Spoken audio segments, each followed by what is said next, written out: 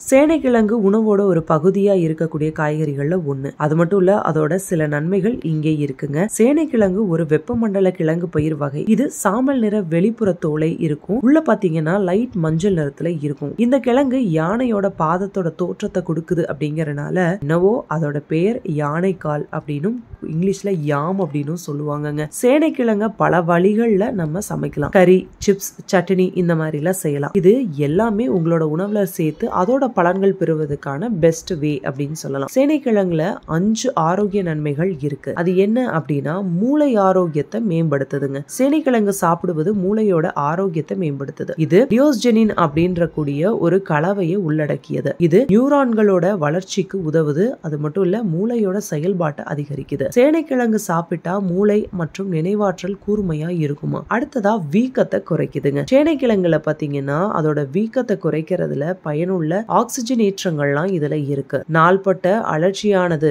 நீரிழிவு இதய பிரச்சனைகள் அதுக்கப்புறம் உடல் பருமன் போன்ற நிறைய மருத்துவ நிலைமைகளோட அதிக ஆபத்தோட இணைக்கப்பட்டிருக்கு. சேனைக்கிழங்கு போன்ற அலர்ஜி எதிர்ப்பு உணவுகளை சாப்பிடுறது நாள்பட்ட வீக்கத்தை குறைக்க உதவியா இருக்கு. புற்றுநோய் எதிர்ப்பு பண்புகள் பத்தி பார்த்தோம்னா சேனைக்கிழங்கு பல ஆன்டி ஆக்சிடென்ட்களை வழங்குது. அது சக்தி வாய்ந்த புற்றுநோய் எதிர்ப்பு பண்புகளை கொண்டது. சேனைக்கிழங்கு கொண்ட உணவு பெருங்குடல் புற்றுநோயோட வளர்ச்சியை கணிச கணிசமாக குறைக்குது. இத்தகைய தாக்கங்கள்லாம் இந்த கிழங்குக்கு புற்றுநோய்க்கு எதிராகவே ஒரு பாதுகாப்பு நடவடிக்கை இருக்கலாம். குறிப்பா அடுத்ததா கொலஸ்ட்ரால் குறைக்க உதவுது. சேனைக்கிழங்கு உடல்ல இருக்கக்கூடிய கெட்ட கொழுப்போட அளவை குறைக்கும். சேனைக்கிழங்கு ஒமேகா மூன்று கொழுப்பு அமிலங்கள் இருக்கிறதால நல்ல கொழுப்போட அளவை அதிகரிக்க உதவுது. அது மட்டும் இல்ல இது எல்டிஎல் மற்றும் விஎல்டிஎல் அளவோட குறைக்குதுங்க. இந்த உணவோட பூஜ்ஜியம் புள்ளி ரெண்டுல இருந்து பூஜ்ஜியம் நாலு சதவீதம் கொழுப்பும் அதிக அளவு ஒன்னு புள்ளி ஏழு அஞ்சு சதவீதமும் நார்ச்சத்தும் இருக்கு. இது எடை இழப்ப ஊக்குவிக்கிறதுக்காக ஒரு சரியான உணவா அமையுதுங்க. இறைப்பை குடல் பிரச்சனைகளை கட்டுப்படுத்துது. ஒழுங்கற்ற குடல் இயக்கங்களோட